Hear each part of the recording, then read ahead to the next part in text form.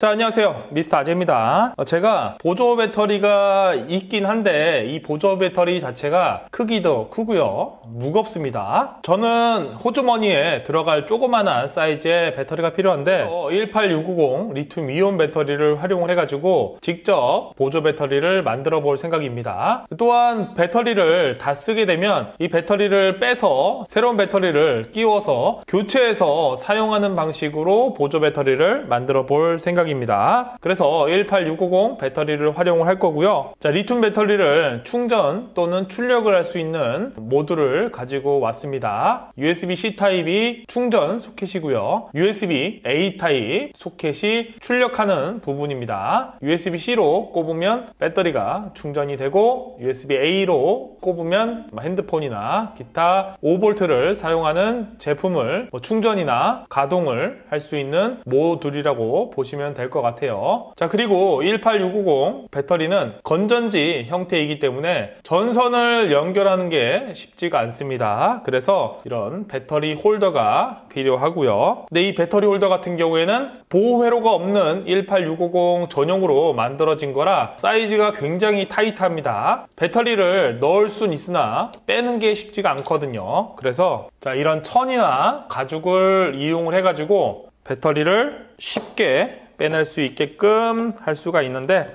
배터리가 있는 상태에서 손가락으로는 절대 빠지진 않습니다. 굉장히 타이트해서 빠지지 않고요. 배터리에 가죽을 끼워 놓으면 가죽을 당기기만 해도 건전지가 빠지죠. 가죽 한쪽 끝을 배터리 홀더 뒷부분에 고정을 하게 되면 조금 더 쉽게 사용할 수가 있습니다. 어, 배터리 홀더 뒷부분 매끈한 부분을 칼로 스크래치를 내주고요. 그래야 순간 접착 본드로 잘 접착이 됩니다. 자, 본드로 가죽을 고정을 했으면 가죽을 끼워 넣고 배터리를 체결을 하게 되면 한쪽 끝만 잡고 당기기만 해도 예, 손쉽게 빠지는 걸 볼 수가 있죠 이런 식으로 하시면 조금 더 배터리가 쉽게 빠지고요 자 그러면 충전 모듈이랑 건전지 홀더에 맞게끔 설계를 해서 3D 프린터로 출력을 한번 해보도록 하겠습니다 아, 이 3D 프린터 없는 사람 어떻게 만들라는 거야? 하시는 분들을 위해서 3D 프린터 출력 서비스를 소개해드립니다. PCBWay인데요. 3D 프린터, CNC 등등 다양한 서비스를 진행하는 업체로 간단하게 클릭 몇 번만으로 주문이 완료가 되고 집까지 빠르고 안전하게 배송되어 오는 서비스입니다. 제가 여러 번 주문을 해봤는데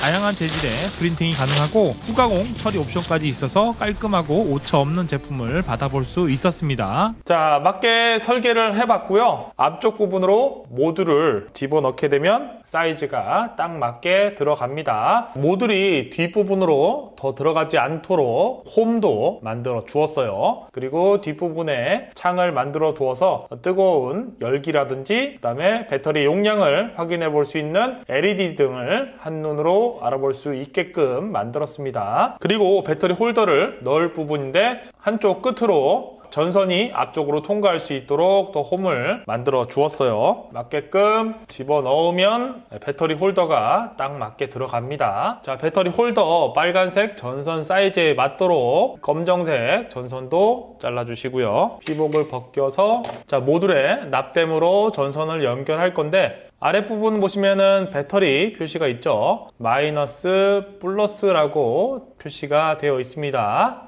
그래서 뒷부분 마이너스가 그대로면 이쪽에 마이너스 플러스를 연결을 하면 되겠죠. 자 납땜을 할 때는 전선을 모듈 넣는 부분을 통과한 후에 납땜으로 모듈에 연결을 하셔야 합니다. 자 납땜을 다 했고요. 출력물에 모듈을 집어넣고 자, 모듈의 양 끝부분을 순간 접착 본드를 이용을 해가지고 고정을 시켜 주도록 하겠습니다. 그래야지만 앞쪽 USB를 연결을 하고 뺄때 모듈이 따라서 앞으로 튀어나오지 않을 것 같아요. 자, 본드를 바르기 전에 미리 작동은 하는지 테스트를 하고 체결을 해 주시면 되겠습니다. 자, 그리고 배터리 홀더를 맞게 연결하면 되는데 빨간색 라인을 배터리 홀더 맨 끝으로 글루건이나 순간 접착 본드로 고정을 한 뒤에 체결을 하시면 조금 더 쉽게 체결이 가능하겠죠. 그런데 여기서도 순간 접착 본드나 글루건을 활용을 해서 배터리 홀더도 고정을 해 주시는 걸 추천해 드려요. 어, 지금 현재 가죽이 너무 길기 때문에 배터리를 연결을 하고 손 잡는 부분을 제외하고 잘라 버리도록 하겠습니다. 이 정도면 되겠죠?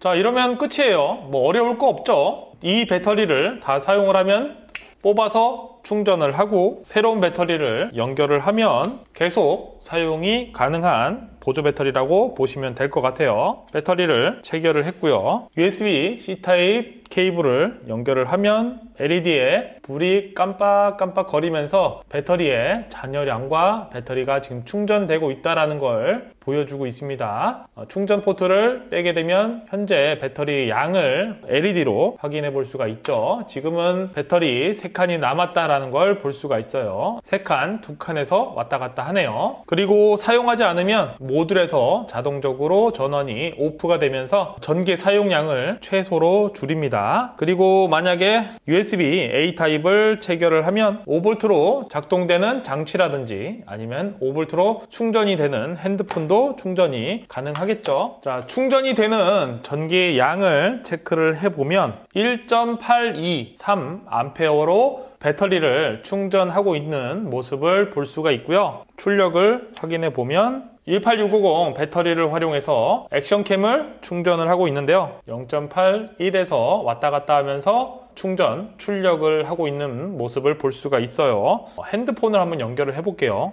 출력량이 많지는 않네요. 핸드폰을 연결을 하면 5V에 1A 정도로 출력이 되고 있습니다. 어, 배터리를 충전할 때는 최대 2A 정도로 충전을 할 수가 있지만 출력할 때는 1A 정도가 최대인 것 같아요. 그러니까 5W죠. 사이즈가 큰 보조 배터리 같은 경우에는 타입 C가 있고 USB 타입이 있는데 USB 같은 경우에는 2.4A 정도 10.2W로 충전이 가능한데 이 제품 같은 경우에는 출력은 1A, 5W 정도로 출력이 된다라고 보시면 될 것 같아요. 큰 보조 배터리보다는 절반 이하 정도의 출력량을 보여준다고 보시면 되는데 사이즈 자체가 다른 배터리라고 보시면 될 것 같아요. 어, 이큰 배터리 같은 경우에는 2만 mAh인데 18650 같은 경우에는 2550mAh인데요. 큰 배터리보다는 작지만 이 배터리 자체를 제거를 해서 충전되어 있는 배터리를 교환을 한다면 용량은